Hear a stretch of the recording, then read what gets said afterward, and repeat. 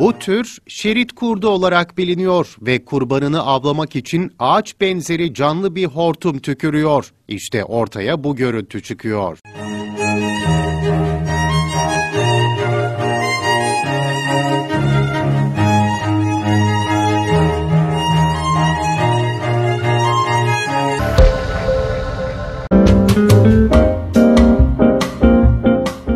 kadar uyumlu kedi ve yatak çarşafını görmüş olmanız mümkün değil. Gerçi dikkatli bakmayınca bunu da görmek zor.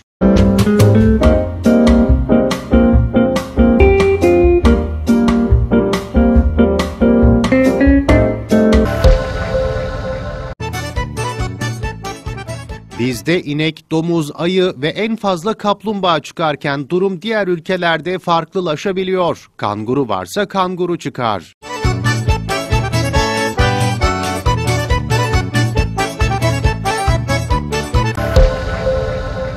Şimdi hayatınızın en güzel kaybolma numarasını izleyeceksiniz. Tabii biraz da kardeş şiddetini.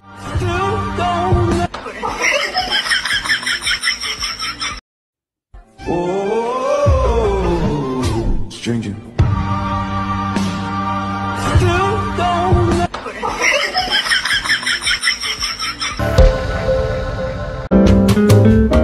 Kediler sıvıdır tezini kanıtlayan bir görüntü. Mutfak dolabından süzülüp çıkan bir kedi.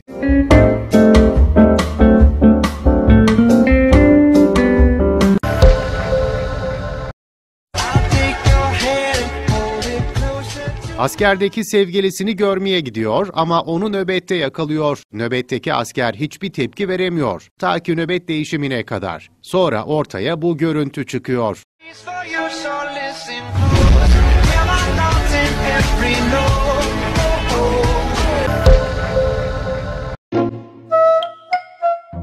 Her şeylerine alıştık da uyuma şekilleri hala şaşırtıyor. Bu kediler uyumayı iyi biliyor.